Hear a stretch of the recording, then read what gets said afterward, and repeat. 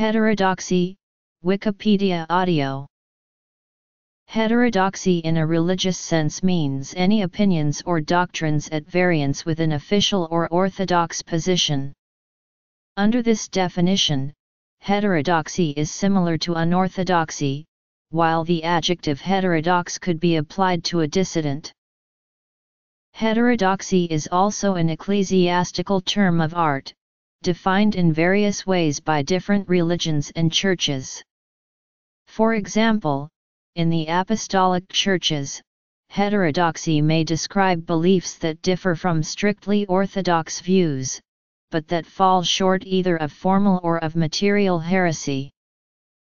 In the Orthodox Church, the term is used primarily in reference to Christian churches and denominations not belonging to the communion of Eastern Orthodox churches and espousing doctrines contrary to the received holy tradition. Also, it describes any theological position, moral principle, spiritual practice, or lifestyle thought to be inconsistent with the Catholic rule of faith. In general, this term is used in two distinct senses. Ecclesiastic usage Heterodoxy in the Roman Catholic Church refers to views that differ from strictly orthodox views, but retain sufficient faithfulness to the original doctrine to avoid heresy. Many Roman Catholics profess some heterodox views, either on doctrinal or social issues. For example, the Orthodox Catholic position on unbaptized infants is that their fate is uncertain, and the Church can only entrust them to the mercy of God. A heterodox Catholic might profess the belief that unbaptized infants are allotted to limbo and then offered the option to accept or deny salvation by God at their judgment. The belief is not orthodox, as the Church does not profess a belief as to what happens to unbaptized infants, however, it is also not heresy, as the Church accepts that such a scenario might be possible.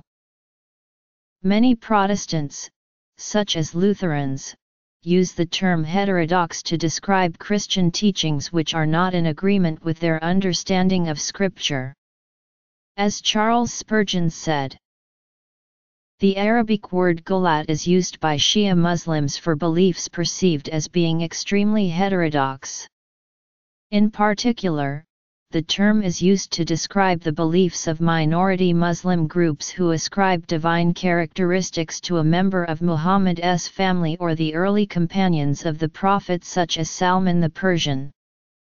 The assumption is that the groups thus described have gone too far and have come to associate them with God. Sunni and Shia Islam Muslims see each other as heterodox, differing in practice mainly on matters of jurisprudence or fiqh, splitting historically on the matter of the succession of Ali to the caliphate by Muawiyah. A third and much smaller movement is Ibadi, which differ from both of these groups on a few key points. Several ultra-Orthodox groups such as the Wahhabis, in turn, see themselves as the only truly Orthodox groups within Islam. The Shia Ismailis, who in turn split from the Shia mainstream of Twelvers over another succession dispute, have subsumed several groups which the majority of Muslims view as heterodox, such as the Seveners, and Gnostic-influenced Alawites, and many other sects and subsects. The Gnostic-influenced Druze sect has also been affiliated with the Ismailis, but some of its followers go so far as to see it as a distinct religion altogether. The Sufis, divided into many sects and orders, incorporate many mystical doctrines and rituals into Islam, but many also consider themselves Shi'i or Sunnis. Another Shia group, influenced heavily by the Sufis, Turkic religion, and other mystical movements, is that of the Alavi. Historical groups viewed as highly heterodox by most Muslims include the Kharijites, who took a third view on Ali's succession, the Mutazilites, who most famously asserted that the Quran was created, a view which enjoyed Caliphal approval before the time of Mutawakkil, the Qarmatians, a branch of the Seveners within Ismaili Islam who took control of much of the Arabian Peninsula in the 9th and 10th century, practiced vegetarianism, attacked Hajj pilgrims and took control of the well of Zamzam. And the Black Stone before their decline, and the Hashishin or Assassins, another Ismaili group, famous for their reclusive lifestyle, manners of indoctrination and assassinations in the years after the First Crusade. According to Philip Hitti, during the Umayyad and Abbasid caliphates there was a marked tendency among several quite unrelated heterodox groups to affiliate themselves with the Shiites, particularly the Ismailis, in a general feeling of heterodox solidarity in a Sunni-controlled empire.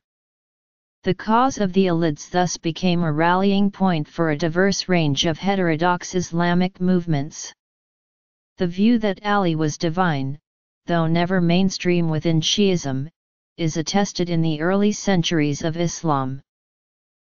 Two more recent movements seen as particularly at odds with the majority Muslim view are the Ahmadiyya and Nation of Islam movements.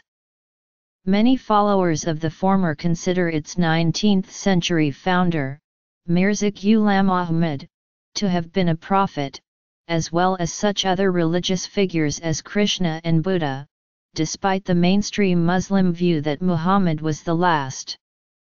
Both Ahmadi denominations consider Ahmad to have been the Mahdi and second coming of Jesus.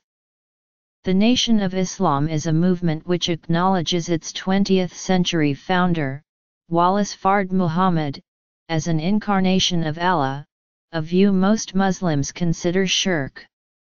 Babism is viewed by many non-followers as originally having been a highly divergent movement within the Twelver Ismailism practiced in 19th century Persia.